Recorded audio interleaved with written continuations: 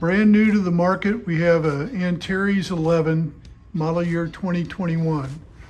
Needless to say, single owner boat. Took delivery in the middle of the season in 21. As you can tell, bottom painted, bow thruster. Freshly detailed, had uh, professionally wheeled and waxed just recently here. Full service done on the outboards. Has a pair of V8 Mercury 300 horse Verados. Very functional boat. Antares has done a wonderful job, of course, part of the Beneteau line of boats. You've got full enclosure canvas for your cockpit. You have asymmetrical gunnels. Your starboard gunnel is wider than port, uh, allowing you more room inside the boat with still great access to the bow. Great seating in the cockpit. Then of course you have the signature door wall with today's coupe boats. Very easy to take care of. Makes boating quite simple. Power sunroof. Galley aft, which is very desirable these days. Not all of these have TVs. He's got a TV here in the salon and one down in the master stateroom. Totally cool thing about this boat, you have the pilot house door. Not all that common on a mid 30s boat.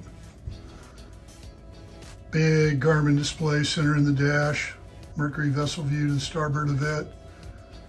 Of course has the Axius joystick docking. Fusion stereo, and of course there's your joystick for the bow thruster. So you can see the big bow seating area, sun pad forward, power windlass, needless to say, spotlight up on the hardtop. Downstairs we go to the two staterooms. You have your mid cabin for the guests or the kids. Rather large berth area.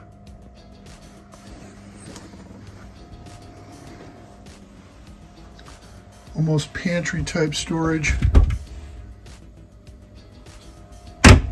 Got the optional additional freezer unit. Real nice head compartment with separate stall shower, vacuum flush head, access from the forward stateroom via private door. Nice big forward berth. There's that TV I was talking about. Wonderful boat. This shan't be around long. They're not easy to get. Uh, next new one we'll have will be late, late, late 2023. Makes this boat highly desirable. Give a call.